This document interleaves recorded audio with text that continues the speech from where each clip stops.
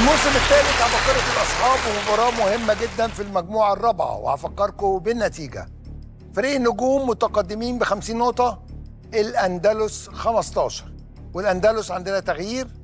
سمية شعبان رجعت مكان سادي أحمد. ودلوقتي مع الفقرة الرابعة فقرة تحت الضغط. تحت الضغط. نانسي وإسلام إسلام ونانسي. إسلام هتروح تسمع أغنية وترجع لنا تاني. اتفضل. نانسي تحت الضغط حد دربك عليها؟ آه. مين بقى؟ أستاذ محمود الجعفري وأستاذ محمود سعد. يعني محمود سعد كمان بيدربك؟ آه. محمود سعد بقى ده جاسوس.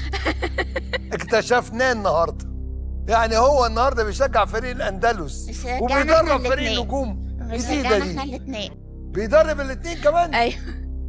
بصوا هي دي الميزة إن إحنا كلنا بنساعد بعض في برنامج العباقرة. مفيش حد بيبخل على حد بحاجة. هي دي الحقيقة يعني. طيب نانسي أول مرة تنزلي في تحت ضغط؟ رهبة. عندنا رهبة طبعا رهبة رهيبة. وعندنا عشر أسئلة في 45 ثانية. جود لك نطمن على إسلام. إسلام قاعد بقى بعيد بيسمع أغنية. مش معانا خالص. تحت ضغط counter ما هي عاصمة الأردن؟ عمان. صح من هو مخرج فيلم الزوجة الثانية؟ pass نيروبي هي عاصمة إحدى الدول الإفريقية فما هي؟ كينيا. صح من هو الأديب الراحل المؤلف المجموعة القصصية؟ التنظيم السري. باص ما هو ربع الرقم؟ 160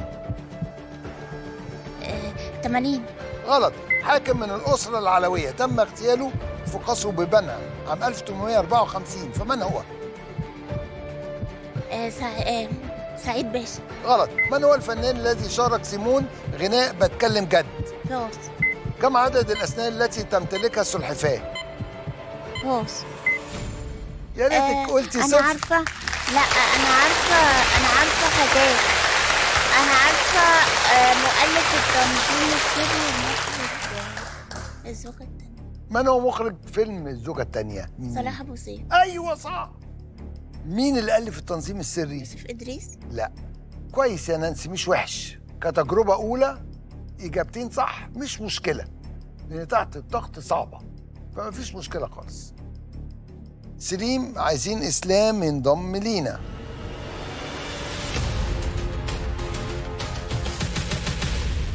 إسلام عايز تعرف نانسي عملت إيه ولا لا؟ لا. بعد ما اخلص طيب. أنا سألت 8 أسئلة من 10 ماشي. تحت ضغط كاونتر ما هي عاصمة الأردن؟ عمان. صح. من هو مخرج فيلم الزوجة الثانية؟ صلاح سيف صح. نيروبي هي عاصمة إحدى الدول الإفريقية. كينيا. صح. من هو الأديب الراحل المؤلف المجموعة القصصية؟ التنظيم السري؟ محمد البساطي غلط. ما هو ربع الرقم 160 40 صح. حاكم من الأسرة العلوية. تم اغتياله في قصره ببنها عام 1854 فمن هو؟ إبراهيم باشا. غلط. من هو الفنان الذي شارك سيمون غناء بتكلم جد؟ محمد فؤاد. غلط. كم عدد الأسنان التي تمتلكها السلحفاة؟ 12 غلط. ما هي اللغة الرسمية في دولة إسبانيا. إندونيسيا؟ كويس. مش وحش. كويس أربع إجابات صح أنت. السؤال اللي ضحكني موضوع السلحفة عندها أسنان قد إيه؟ ما أعرفش. عاجبني قوي إن أنت 12 بتوقع أي رقم؟ بس هي معلومة دمها خفيف الحقيقة. تعال نشوف الأسئلة اللي ما تجاوبتش. من هو الأديب الراحل مؤلف المجموعة محفوظ، القصصية؟ نجيب محفوظ. التنظيم السري طبعا. الأديب العالمي نجيب محفوظ. حاكم من الأسرة العلوية تم سعيد. اغتياله في قصره ببنها أيوه عباس حلمي الأول من هو الفنان الذي شارك سيمون غناء بتكلم حميد جد. حميد الشاعري مش محمد فؤاد بسمعها كم عدد الأسنان التي تمتلكها السلحفاة؟ طبعا إسلام رأيه 12 ولكن هم صفر السؤال التاسع ما هي اللغة الرسمية في دولة إندونيسيا؟ اللغة الإيه؟ الإندونيسية. سمعتش الاندونيسيه. ما سمعش السؤال. كلنا نحيي إسلام ونانسي نانسي إسلام. تعالي معايا يا نانسي اتفضلي عندنا step step step أيوه. وبعد كده هنطلع step على مهلك أيوه. step كمان ونقعد. هيا يا اتفضلي نانسي. متشكرة أوي لحضرتك. اتفضلي يا نانسي. تمام؟ شكرا جدا. شكرا. النتيجة طبعا اتغيرت. هنشوف الأندلس كنتوا كام؟ كنا 15. 15 وكام إجابة صح؟ أربعة. أربعة. وعشان نقط هدية من نانسي بقيتوا؟ 45 45 نجوم كنتوا كام؟ 50 50 وإجابتين صح بقيتوا 60 25 و45 70 فريق الأندلس تتقدموا لأول مرة. و60 و25 85 تحافظوا على التقدم. ودلوقتي مع الفقرة الخامسة فقرة ضربات الجزاء ضربات جزاء. أول اتنين منا وأميرة من مكانكم.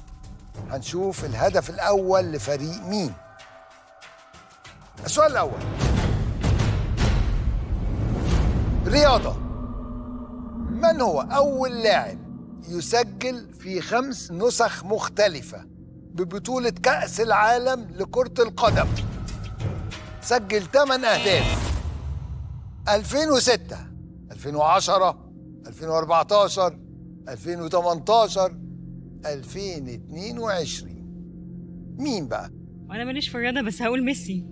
للأسف الشديد مش ميسي. إجابة خاطئة. خمن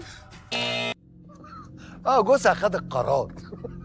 هي ما عندهاش إجابة ولكن محمود خد القرار. آه، رونالد ما هي لو مش ميسي تبقى رونالدو. طبعا رونالدو. الهدف الأول. كريستيانو رونالدو تأثيرة يا محظوظة السؤال الثاني أحمد أبو ضيف ومحمود الجعفري محمود الجعفري وأحمد أبو ضيف. السؤال الثاني. أدب من هو الفنان المصري الراحل؟ مؤلف كتاب حكايات العمر كله. سيرة ذاتية اتنشرت في 2020 تحكي عن حياته وشبابه ومواقف مع مشاهير وفنانين ورؤساء وملوك. ممكن يبقى مين؟ نجيب الريحاني؟ سيرة ذاتية اتنشرت 2020 هتبقى نجيب الريحاني؟ طبعا مستحيل. إجابة خاطئة. مين بقى؟ عمر الشريف. يا جماعة 2020 سمير صبري. هيبقى إزاي عمر الشريف؟ سمير صبري. طبعا طبعا سمير صبري. إجابة خاطئة. لازم يكون واحد موجود معانا في العصر ده وتوفى قريب يعني. نانسي وسمية. سمية ونانسي. خلي بالك يا سمية لو نانسي جاوبت صح خدت 25 نقطة. السؤال الثالث تاريخ. حدثت مجزرة 17 أكتوبر عام 1961 بإحدى العواصم الأوروبية. فما هي؟ بتكلم على عاصمة أوروبية. سمية إجابتك؟ باريس؟ دي كانت مظاهرات سلمية. قام بيها الجزائريين في باريس. إجابة صحيحة. لرد حظر التجول المفروض عليهم. هدف مقابل هدف محمود وإسلام إسلام ومحمود.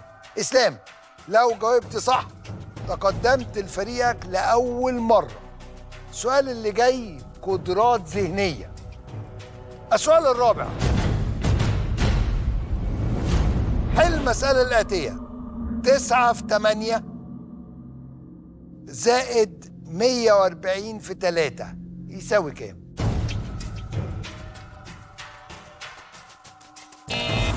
أربعمية اتنين وتسعين. الهدف الثاني. برافو عليك يا اسلام سؤال ما كانش سهل. فريق الأندلس حقق مفاجأة. منتدى لسه لسه لسه. ريمونتادا سمية. كان المفروض تسموا نفسكم ريمونتادا. منتدى آه الماتش 70 الأندلس 60 النجوم. ماتش النهارده بداية كانت مش موفقة من الفرقتين. فريق الأندلس متأخر على مدار الماتش من أوله. السكور مازال مش حلو 70 60 إجابة صحيحة. السؤال الأول في ضربات الجزاء كان سؤال بالنسبة لي يعني مش عارفاه قوي خمنت والحمد لله جاب نتيجة. عملنا ريمونتادا ورجعنا تاني وربنا يكملها على خير لآخر الحلقة بقى. طبعا اللي بيكسب بيسهل مأموريته عشان فرصة التأهل لدور الثمانية أتمنى نقدر نكمل لغاية عجلة الحظ وننتصر في المباراة بإذن الله. خلينا نشوف عجلة الحظ. هتبتسم لمين في أول مباراة وهتكشر لمين في بداية هذا الموسم. نروح نشوف ونكمل ماتشنا هنخرج فاصل وهنرجع مرة تانية مع آخر فقرة فقرة عجلة الحظ والعباقرة. وبكده أصحابنا العباقرة جمعوا 65 نقطة. فقرة تحت الضغط وضربات الجزاء وكل نقطة ب 1500 جنيه. بما يساوي 97500 جنيه ويبقى الرصيد لحد دلوقتي 195000 جنيه. في خزنة البنك الأهلي لرعاية أبطال مصر الرياضيين